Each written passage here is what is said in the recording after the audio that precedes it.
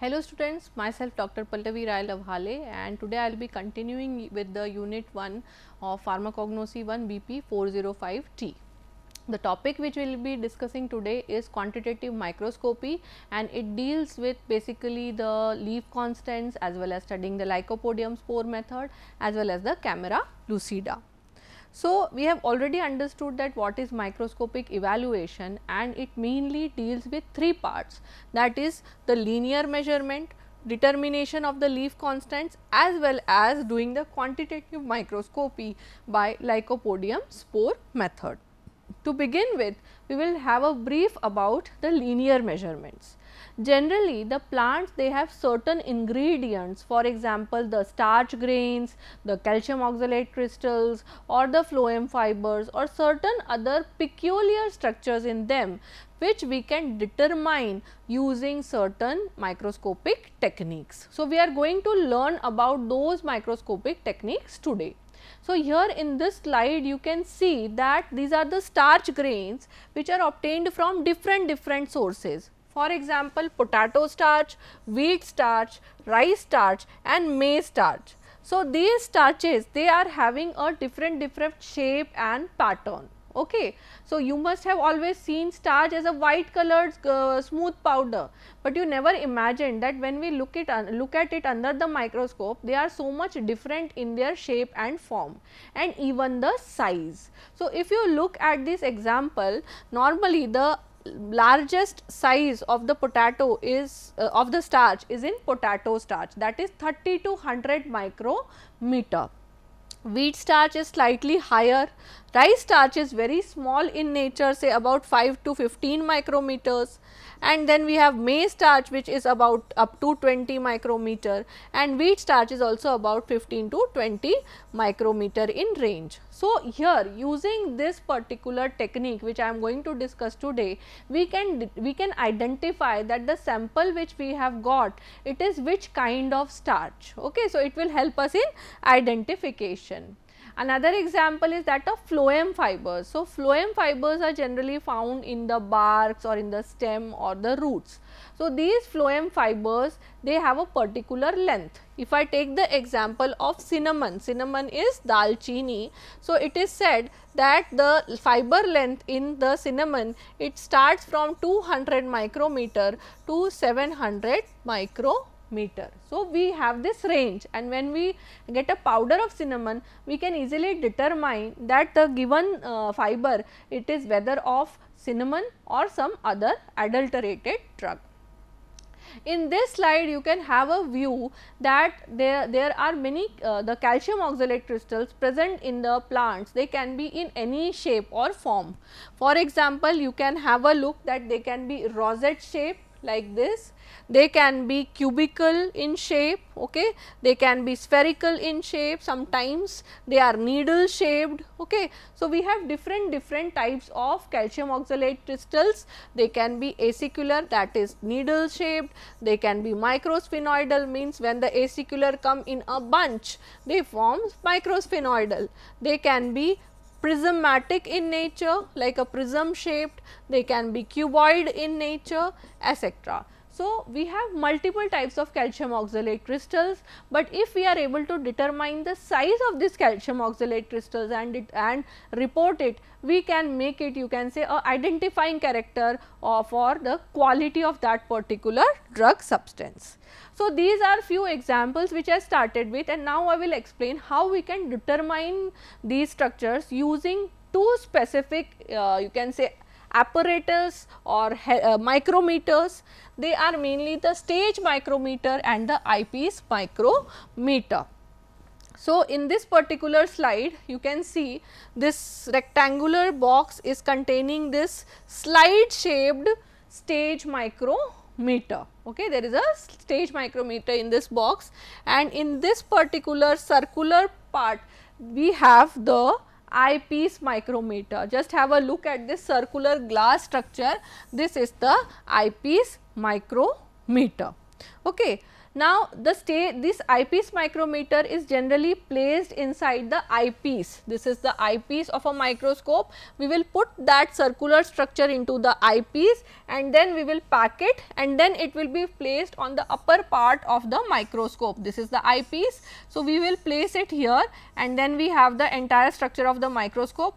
Here we are going to place our sample, this will have the body tube and we have the objective lens here. Okay. So, here we have put the eyepiece micrometer. So, after the eyepiece micrometer, we also have the stage micrometer.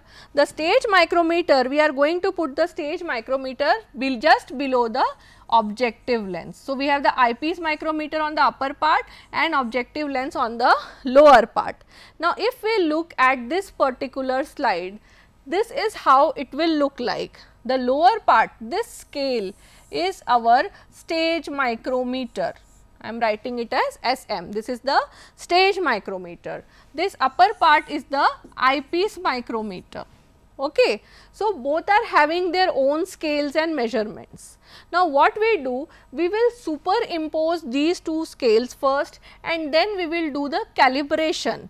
We will count the number of divisions of eyepiece micrometer matching that with the stage micrometer and after the correlation we if we get that 5, uh, 5 divisions of stage micrometer they are coinciding with 7 divisions of eyepiece micrometer we will have this kind of a relationship. Now, if we talk about the stage micrometer, the stage micrometer it has about 100 divisions in it and one division of stage micrometer is equivalent to 10 micrometer. This is a standard one. Okay. It remains on the stage of the microscope. Now, we know that one division is equivalent to 10 micrometer, right.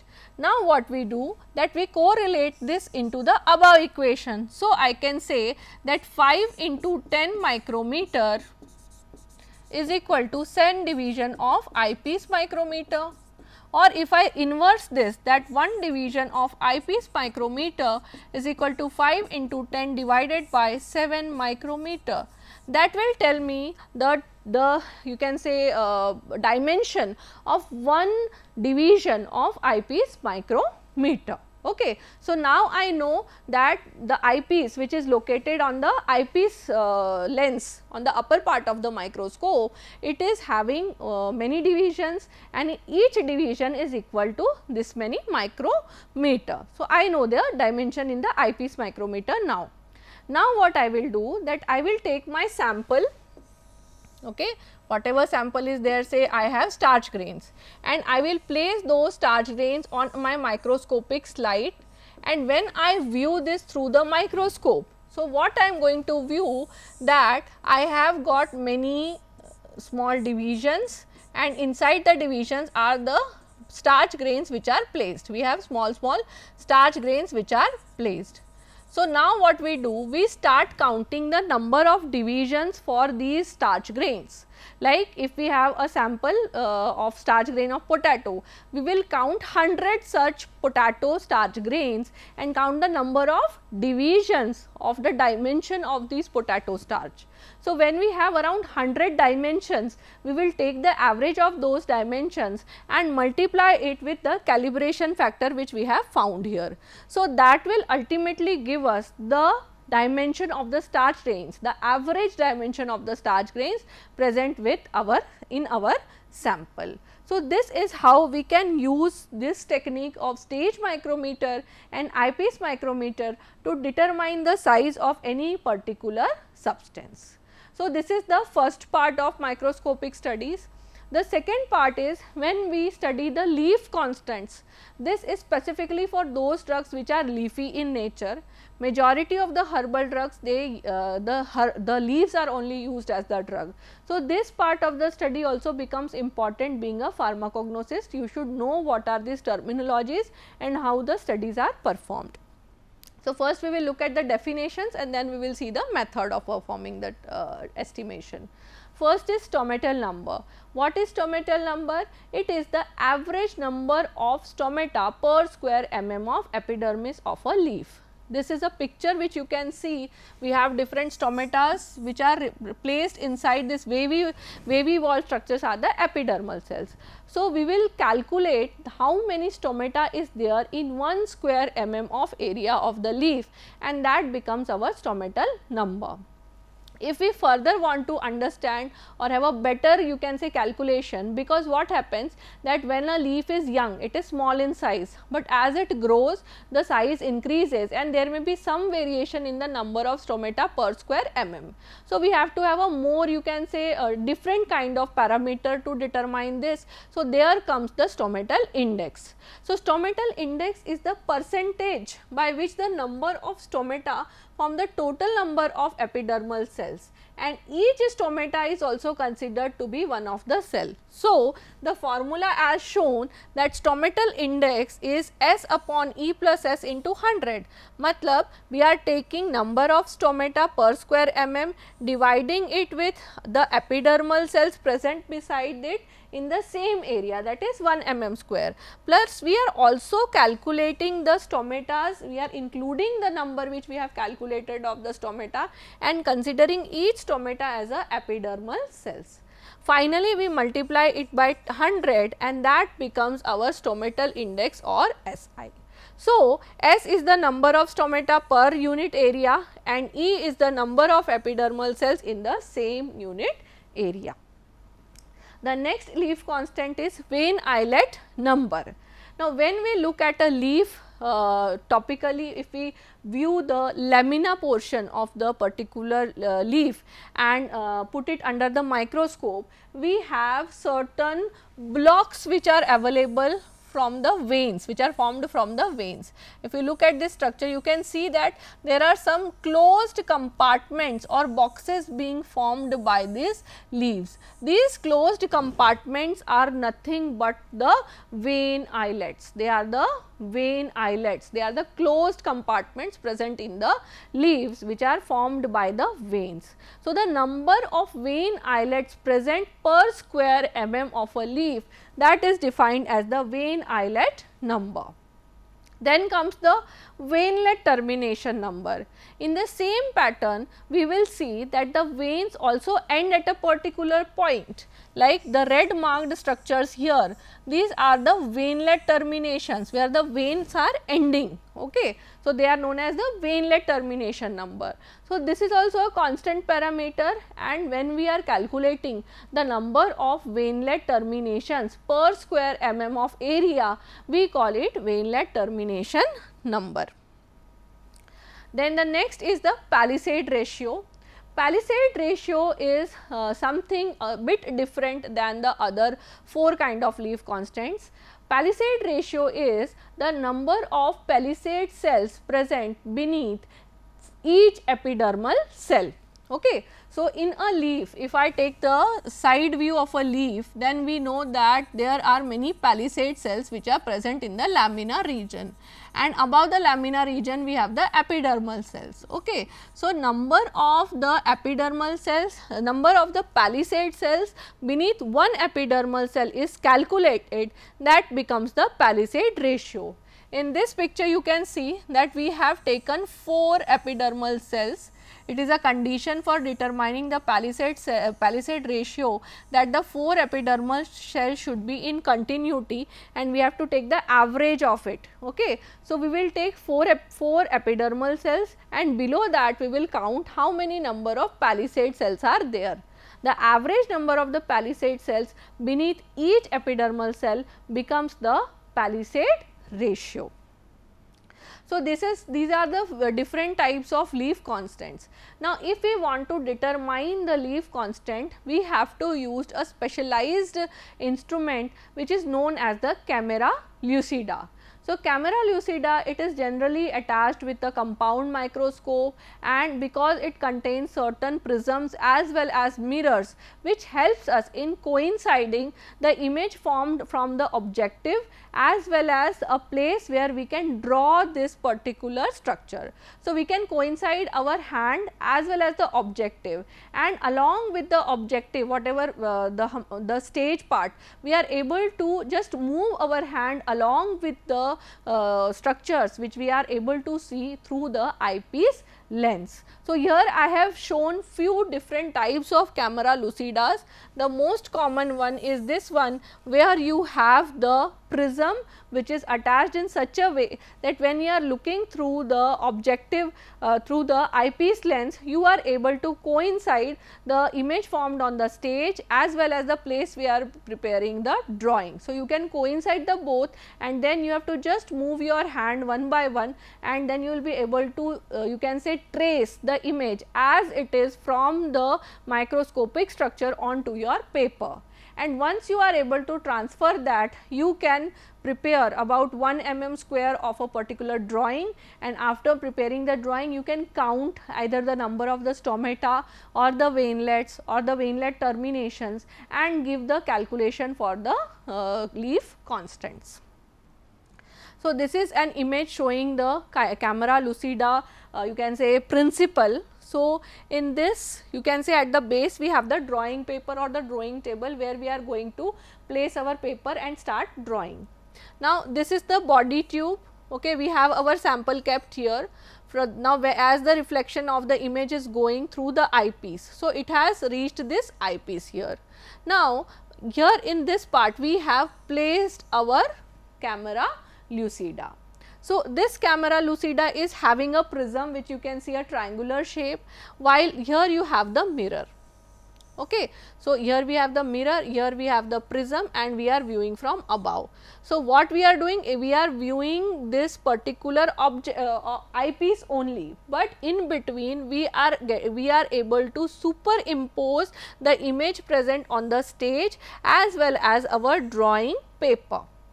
So, the what is happening is that the reflection or the image which has reached the prism that is getting reflecting onto the mirror and through the mirror it is also now uh, to the mirror we are also getting the image of the drawing paper. So, this mirror is helping in getting the image of the drawing paper as well as we are getting it reflected with the help of this prism and ultimately we are getting a superimposed image of both the sample on the stage as well as our drawing paper. So, we can as it is uh, you can say uh, trace out the entire structure on our paper. Now, before doing it we have to use the stage micrometer and using stage micrometer we have to prepare a box which is equivalent to 1 mm square. So, we have to do all these tracings in 1, 1 mm square boxes so that we are able to calculate the leaf constants like stomatal number, stomatal index, vein number, veinlet termination and palisade ratio. And now we come to the last topic of today's lecture that is the lycopodium spore method. Now, lycopodium spore method it is also known as quantitative microscopy because it is considered to be useful in determining the percent purity of a particular drug. For example, if we take certain drugs like ginger powder which contains starch grains which are identifying characteristic for ginger, we can use such type of drugs and identifying characteristics for performing the percent purity analysis. Now, for performing the percent purity exam uh, analysis, we generally use a lycopodium spore which is a fungal spore which has a definite shape and appearance and generally it, it is uniform in size also which is around 25 micrometer. So, on an average 1 milligram of this lycopodium spore contains 94,000 spores. So, we know what is the amount of the spores present in 1 milligram of lycopodium spore and as you can see in this picture also that the shape is very much the these these are the lycopodium spores. So, they are very very you can say easily identifiable structures we can easily identify them and also count them. So, because they have a constant number for a particular milligram of drug, we can easily count the number and correlate that part to our uh, sample which we are performing the study for. For example, the starch grains in the ginger powder.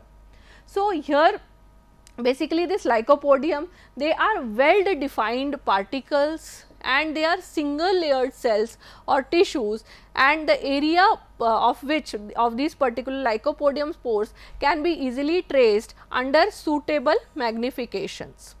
The objects of the uniform thickness, the length of which can be measured and actual area can also be calculated. Now, we move to the uh, basic calculation of how this lycopodium spore method is actually performed. Now, before I move further, I would like to tell you that how the procedure or the in lab, how are you going to prepare the smear for this lycopodium spores. So, you will take the sample, in this case we are talking about ginger powder only, uh, ginger rhizome powder. So, we will take the ginger rhizome powder and prepare a paste with either we can use Tween 80 or we can use an emulsion of oil plus water plus any kind of gum and using that we will prepare a paste like substance for our ginger root powder. We will spread that paste on a microscopic slide. Okay. It will be spread in a smear pattern. It should be evenly spread on that microscopic slide. After that, we will place it under the microscope and start counting the structures. So, what are we going to count? We are going to count two things. One is that we have to count the number of lycopodium spores. Simultaneously, we will also count the number of the starch grains.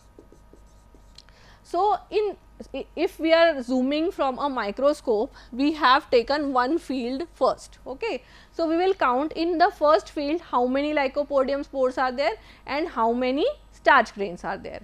After that we will shift this to the next field then to next. So, we have around 25 fields in which we have to do the counting for the number of lycopodiums as well as the number of the starch grains. Okay. So, after counting in 25 different fields we have the data with us and now we will use that data to determine our percent purity for a particular drug here it is the ginger powder. Okay.